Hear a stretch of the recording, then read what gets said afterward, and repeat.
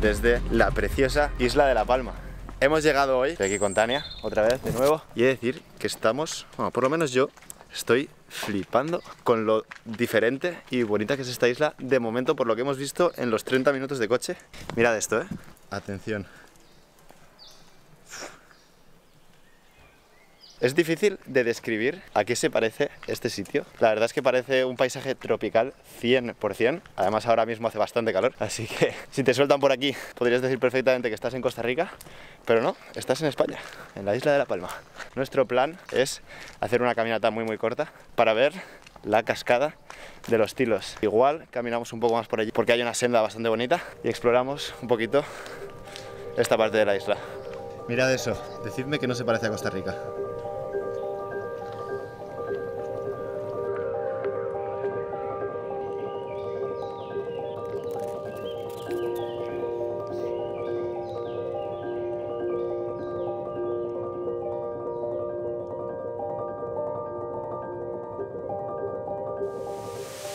Este sitio, primer día en La Palma y estoy flipando en colores. Esto es increíble. Parece 100% una cascada de Costa Rica. Como toda la isla sea así, me va a quedar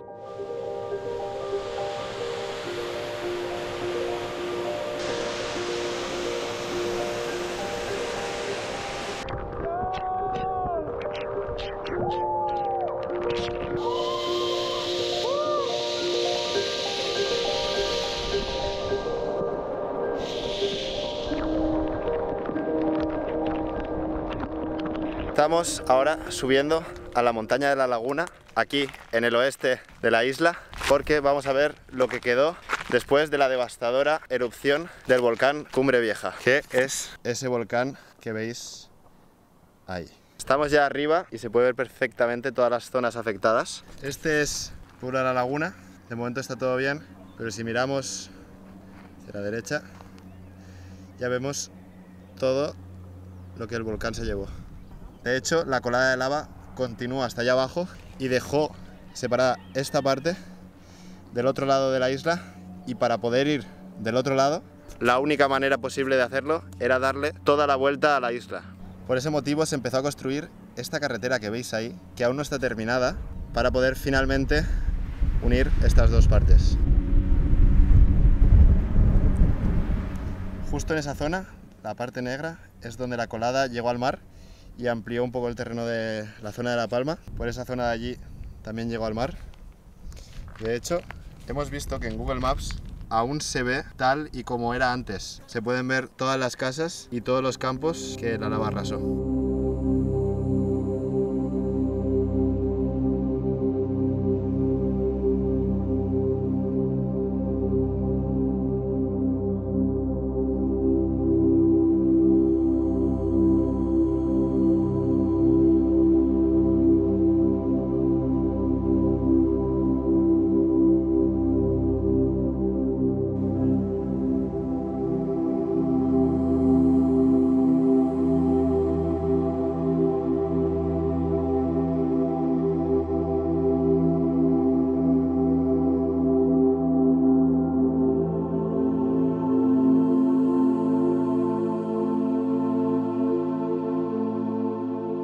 Estamos delante de una casa que se ve afectada por la erupción. Hemos venido caminando por esto, que son los restos de la colada. Son todo piedras así. Y esta es la casa que ha sobrevivido, pero está completamente quemada. Y seguro que en las noticias habéis visto otras casas que parecía que habían sobrevivido, pero aunque no se hayan quemado, pensad que no les llega ni el agua ni luz. Más de 7.000 personas se vieron afectadas por esto y la erupción duró 85 días.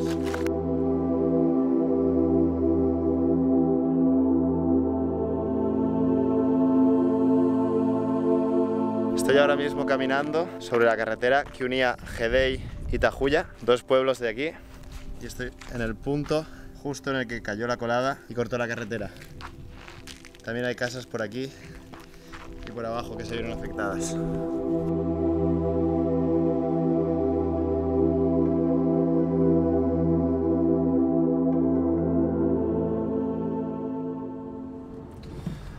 Ahora estamos de camino al Roque de los Muchachos, el punto más alto de esta isla, de unos 2.400 metros. Para lo pequeña que es esta isla, la verdad que tiene un huevo de desnivel.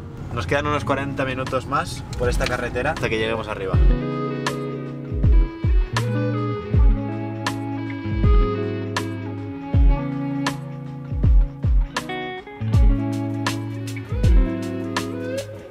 Roque de los muchachos. Hemos llegado. Estamos aquí arriba y esa piedrecita de ahí es el punto más alto de la isla. Os voy a enseñar las vistas porque la verdad que está espectacular. ¡Pum! Y esa isla de allí, el hierro. Y esa de ahí, la Gomera.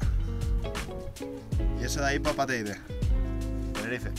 Y aquí también es uno de los sitios donde mejor se ven las estrellas en el mundo y está petado de observatorios. Ahí lo tenéis. Ahí hay unos cuantos, pero hemos visto bastantes más subiendo con el coche. Y ahora vamos a ver este fantástico atardecer y nos vemos mañana al amanecer de nuevo porque vamos a hacer la ruta de los volcanes. Es bastante dura, nos vamos a intentar ir a dormir pronto y nos vemos mañana.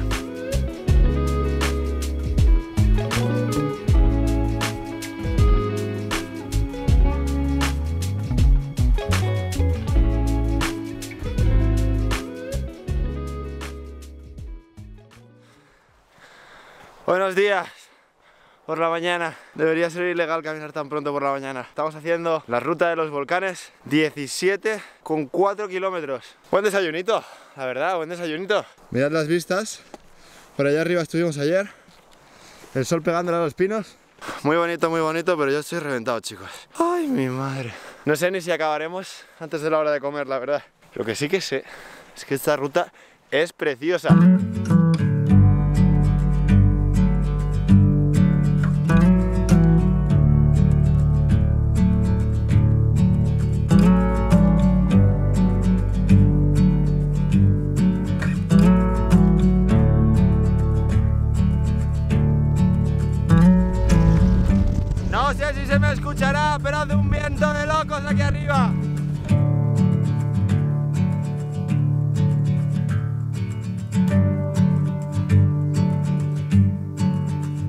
Hora del almuerzo. La ruta que estamos haciendo en total son 17,7 kilómetros, 700 metros de desnivel. Os voy a poner un screenshot para que lo veáis, porque caminamos prácticamente la mitad de la isla, casi desde la mitad hasta la parte de abajo. Para almorzar, como no podía ser de otra forma, plátano de Canarias, chavales. Espectacular. Hay que decir que estoy flipando con esta ruta y con la isla en general. Así que no esperaba que fuera bastante selvática, pero lo que yo no sabía es que había un cacho de Lanzarote en esta isla. La estética es muy parecida a Lanzarote, excepto que está lleno de pinos canarios. Así que nosotros vamos a disfrutar de este almuerzo y a seguir.